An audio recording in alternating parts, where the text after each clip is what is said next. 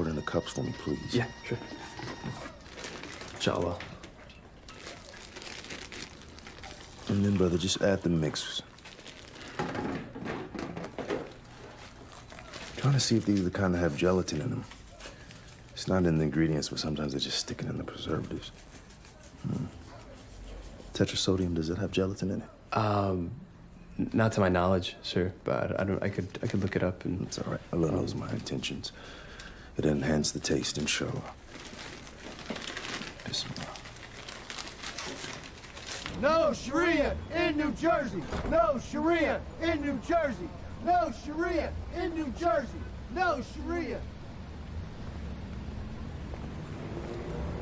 Peace be upon you, brothers. You know, it's cold outside, so Brother Ramy and I made you some hot chocolate. What? Nah, fuck you. What Papa's laying out here? He don't want to be buried next to this shit. Hey, man, don't don't don't talk to him like it's okay.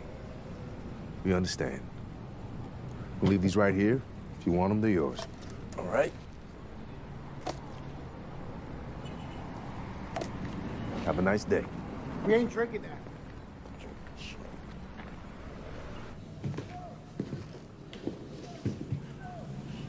This space used to be a church, but they were going to foreclose and relieve them of the lease.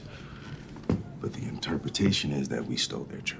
Yeah, maybe we should call the cops. I don't know. It, that guy seemed kind of violent, and I feel like giving them hot chocolate uh, maybe brings more of them, right? If they know there's hot chocolate here, then they just kind of start coming. Like, Who's our example, Ramy?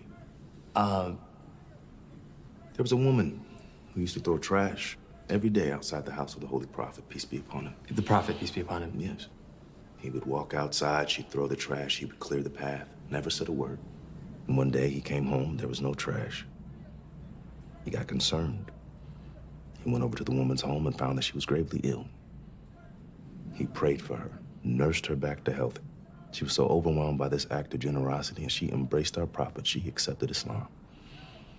If there's anything that may show these men that we're not their enemy, it may be that hot chocolate. So, so you think the hot chocolate might make them Muslim?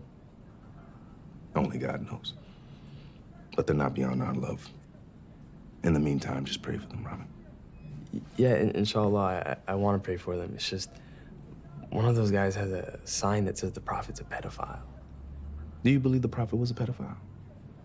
No, no, I. Stuck for Deep down inside, I don't think those men out there believe that either. But right now, they're just so consumed by their fear. I know it may seem odd to pray for these people, but trying to help those who can't help themselves is sometimes the only path for our own hearts. Help others, and Allah will help you with your struggles. Our bayah, our bond, requires that we try to help those who are lost.